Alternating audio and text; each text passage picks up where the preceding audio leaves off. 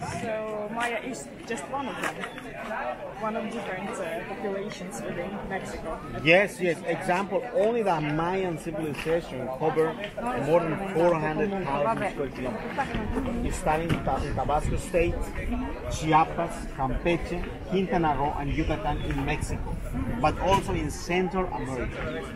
We're talking about Guatemala, Belize, Honduras, and El Salvador. That's more than 400,000 square kilometers. But from that different place, my friend, okay, Mayas built different cities with different groups. Uh, example in Chiapas State, there are Mayans, different groups, different dialects. Okay. When they celebrate the solar cycle,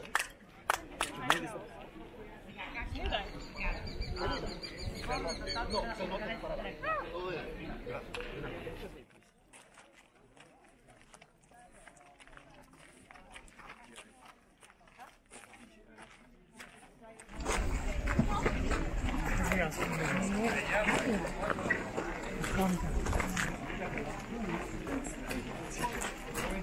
everything in the world didn't happen.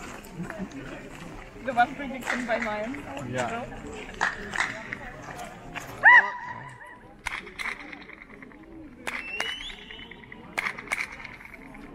You hear?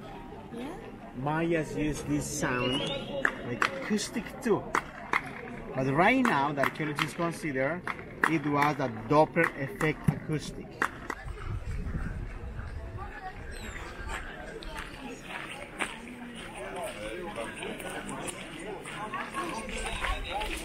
Use this building only for offering, the dancing, but not ritual, not ceremonial dance, like a theater, mm. so for fun. But also right here we can see the snake body full with feathers. Okay, it wasn't just simple snake. Look on the tail, the rattle. It was a rattlesnake, and the head something very uh, interesting because looks more like a hippopotamus head. Never fight. No, no, no, no. The Mayas, its size. We're talking about. If you remember, I mentioned.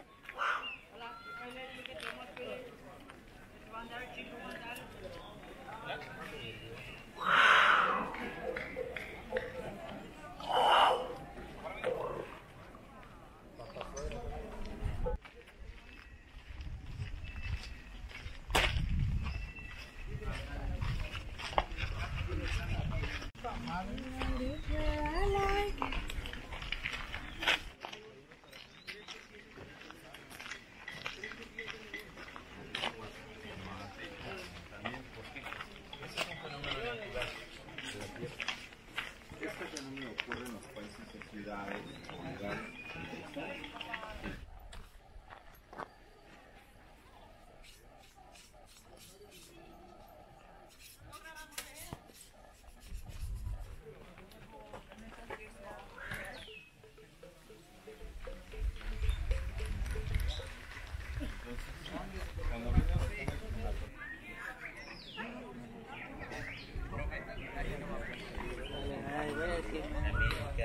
Está, eh, está recuerdo vosotros.